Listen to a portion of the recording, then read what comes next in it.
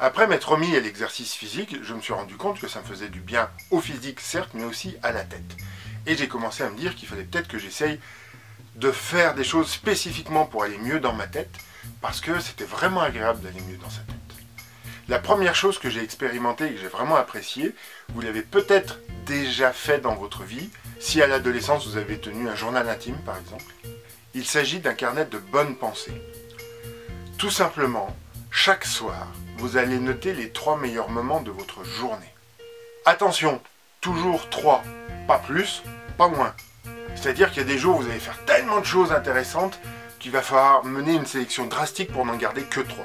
A l'inverse, d'autres jours, vous allez rentrer dans un tunnel le matin, le boulot, les personnes à rencontrer, rendez-vous, et vous allez arriver le soir en vous disant Waouh, j'ai pas vu passer la journée, mais euh, faut que je trouve trois moments agréables dans cette journée.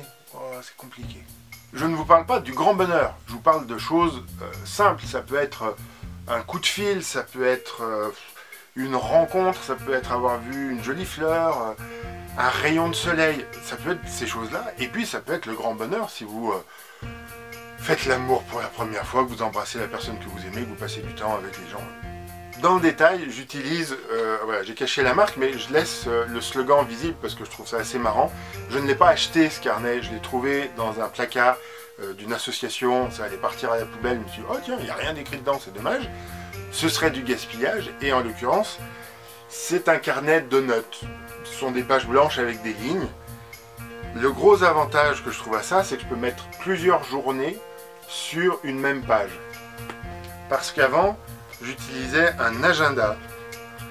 J'ai commencé en me disant « Ah, un agenda, c'est pratique, il y a déjà des jours. » Ouais, sauf que, comme vous pouvez le voir, bah, très rapidement, on se rend compte que quand on a trois choses à écrire, ça remplit pas la page ça gaspille vachement de papier. Et ça m'embêtait un peu de gaspiller du papier.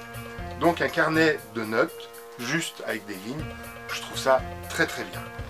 En plus, c'est pas trop gros, donc ça permet de l'emmener pratiquement partout avec soi. Ça tient pas dans la poche du manteau ou du pantalon, je vous d'accord, mais ça tient dans n'importe quelle euh, baise en ville, dans un sac, dans une sacoche.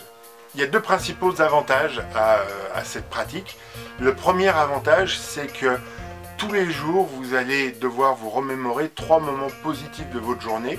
Ça va vous faire du bien. Vous allez vous coucher le soir en vous disant Tiens, ma journée n'était pas si pire. Moi, j'ai fait ça à un moment où ça n'allait pas super fort dans ma vie. Bah, le côté un petit peu dépression saisonnière, ça aide à passer outre parce que, en fait, j'ai pas eu une journée extraordinaire, mais il y a quand même eu des moments sympas dans cette journée. Il y a eu des bons moments dans cette journée. C'est cela euh, qu'il faut retenir.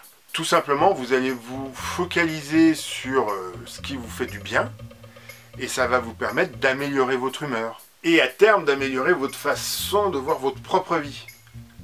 Le deuxième avantage, c'est qu'en fait, on, devient proactif. C'est-à-dire qu'il y a des moments dans la journée, si la journée a, vraiment été euh, pas extraordinaire, il y a un moment où on se dit Waouh, attends, mais je vais rien avoir à raconter dans mon carnet de bonnes pensées ce soir. Donc, il y a des jours où on va faire des choses positives pour nous, exprès parce que ça nous permet d'aller vers ce carnet de bonnes pensées le soir. Si je peux le faire, tout le monde peut le faire. Et on va le faire ensemble.